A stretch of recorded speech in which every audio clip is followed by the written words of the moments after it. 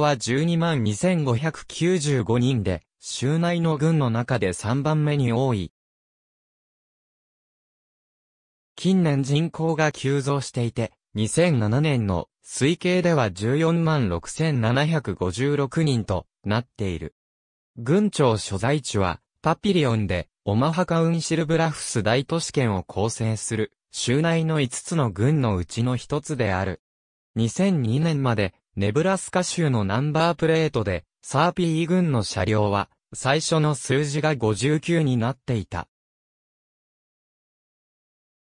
これは1922年にナンバープレートの制度を確立した際、サーピー郡の車両登録台数が州内の郡の中で59番目に多かったためだが、2002年に同じく郡内に大都市を抱えるダグラス郡、ランカスター郡と共に廃止した。1805年にルイス・クラーク探検隊がこの地を探検したことで、この地域には、毛皮商や渡り物、農民、さらには、実業家までもが移り住み、サーピー郡は、ネブラスカ州の開拓と発展の出発点になった。サーピー郡は1840年にベルビュー付近に、フォンテネールズ交易所を置いて毛皮貿易を行った、ピーター・サーピー大佐にちなんで名付けられた。サーピーは1865年に、ネブラスカ準州のプラッツマウスで死んだ。サーピー郡には、ネブラスカ州最初の開拓地があったが、そこは、法律上では単なる川沿いの田舎の土地とされ、1857年2月1日に、やっと開拓地と認められた。アメリカ合衆国国勢調査局によると、この郡は総面積640平方キロメートルである。このうち623平方キロメートルが陸地で、18平方キロメートルが川や湖などの水地域である。総面積のうちの2.73%が水地域となっている。また、この郡は、ネブラスカ州の中で最も小さな郡である。2000年国勢調査時の郡の人口ピラミッド2000年の国勢調査によると、サーピー郡には12万2595人、4万3426世帯、及び3万3220家族が暮らしている。人口密度は197平方キロメートルで、72平方キロメートルの平均的な密度に44,981件の住居が建っている。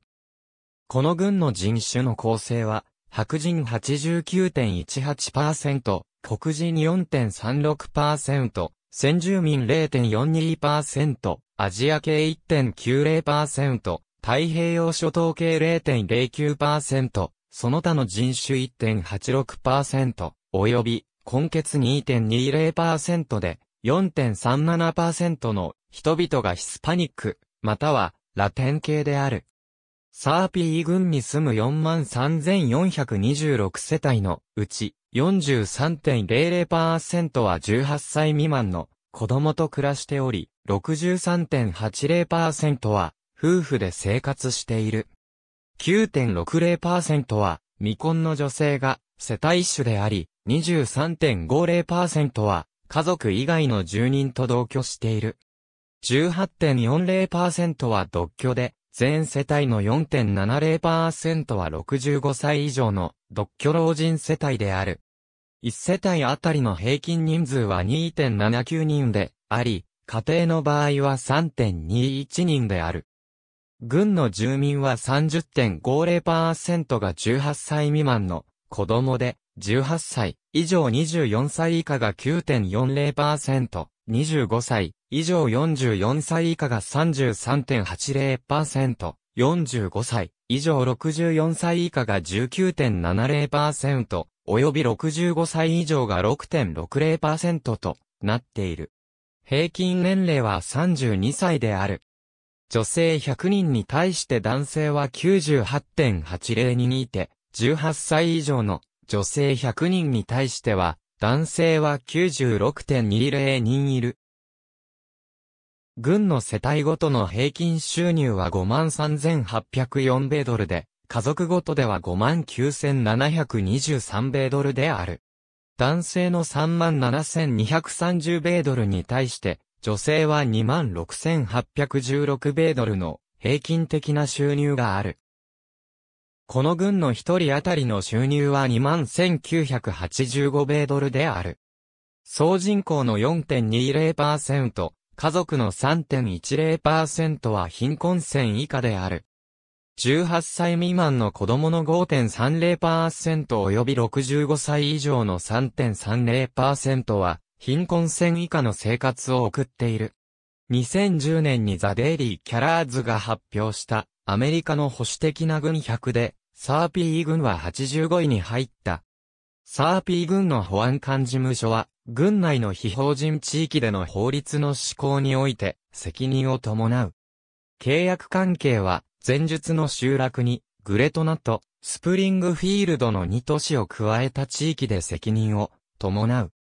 ベルビュー、ラビスタ、パピリオンの各都市は独自に警察組織を持っていて、これらの都市での法律の施行においては主に各々の警察に責任が伴う。また、バックアップサポートが必要な場合は、警察組織を持っている3つの都市においても、保安官事務所に二義的責任が伴う。保安官のオフィスと拘置所の機能は、パピリオンの軍庁舎内の1989年に設立された軍の法施行センターにある。ベルビューとラビスタの警察は独自に留置所を持っている。軍の拘置所は最大で148人を収容できるが、最近はほとんど満杯状態になっている。そこで、軍は拘置所の収容人数を125人分増やす計画を立てたが、法執行センターはそのようにしなかった。その代わり、比較的罪の軽い抑留者をダグラス軍のセントガブリエルズアルコールドラッグ治療センターに移送した。サーピー軍は国勢調査時にはベルビュー市の他に地域が以下のように区分けされる。ありがとうございます。